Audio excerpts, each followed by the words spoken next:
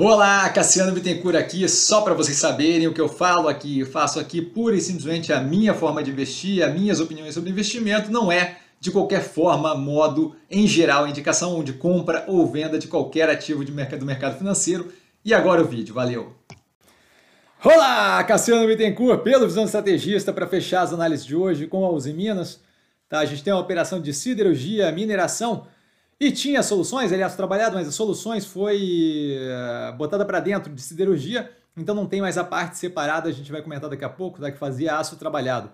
Siderurgia, praticamente completamente mercado interno, mineração, a grande maioria mercado externo, só para dar uma noção. Tá? A gente tem a abertura da estrutura de acionistas na tela, com composição aí do grupo de controle.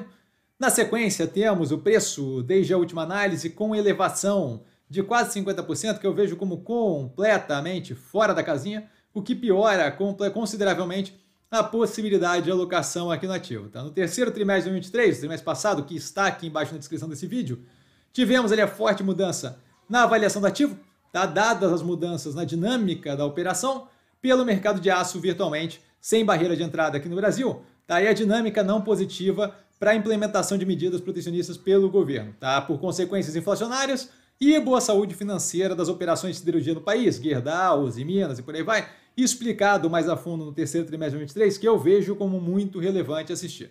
Tá? Aqui eu vejo uma dinâmica bem negativa, tá? onde a gente tem o preço do ativo muito elevado, como resultado, é, com, com resultado maquiado por questões ali que eu não vejo como sustentáveis. Não maquiado no sentido de maldade, mas maquiado no sentido de ter vários eventos aí que eu não vejo como propriamente sustentáveis quando eu olho médio e longo prazo.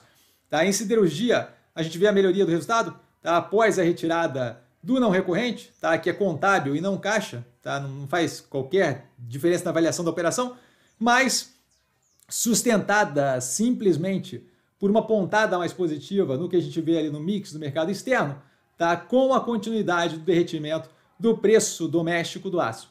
Tá? Se tivesse aí uma repetição do mix é, do mercado externo nesse trimestre, do trimestre passado, o EBITDA ali iria para um negativo de 285 milhões de reais. Tá? Isso sem contar o fato de que soluções, é, soluções de Minas ali, o de, o de, aço trabalhado, foi incorporada pela operação de siderurgia, tá? que tenha, somou aqui, né? E que no trimestre passado tinha dado um EBITDA positivo de 28 milhões. Então, se a gente tiver ali mais um EBITDA positivo ainda de soluções que estavam separadas, isso aqui teria ido mais profundo ainda, tá? Em mineração, a gente tem um forte aumento do preço do minério, que, como comentado várias vezes nas análises do canal, eu vejo como completamente insustentável, tá? com o contínuo arrefecimento da economia global, especialmente a chinesa, movimento que não vai ser resolvido com estímulo, porque não funciona assim, certo? Vamos dar tempo aí para ver, mas se a gente vê ali a dinâmica na economia chinesa, você não consegue pura e simplesmente levantar a operação da, da economia chinesa com base, com, especialmente com, com o caso que temos ali com o mercado de construção civil e imobiliário deles, você não consegue simplesmente injetar grana e simplesmente levantar aquilo ali na moral. Tá? Então você vê ali a tentativa de segurar o crescimento mais ou menos é, contínuo, mas sem condições efetivamente de virar o jogo. Isso pelo menos é o que eu vejo. Tá? O retorno à realidade dessas questões citadas, somado à continuidade na queda da demanda, pelo evidente arrefecimento do crescimento econômico global, junto ao preço do ativo que está inflacionado, não deve gerar um resultado positivo para os investidores que estão aqui no médio e longo prazo. Então, tenho zero de interesse de tocar no ativo. Tá? A gente segue para o due diligence, que tem uma receita líquida com crescimento de 1% quarter on quarter versus trimestre anterior, 11% de queda versus o mesmo período no passado. EBITDA ajustado é, em 324 milhões, retirando os não recorrentes, está fortemente auxiliado, como dito, pelo mix de siderurgia no mercado externo e pelo preço do minério de ferro, que está num nível que eu não vejo como vagamente sustentável. Lucro líquido 975 milhões e isso daqui com os não recorrentes dentro dele. Não, não sei se tinha abertura específica para separar, mas eu não vou vasculhar aquilo aí porque esse não é o ponto. Tá, o resultado menos pior do que o trimestre anterior, mas a situação completamente instável.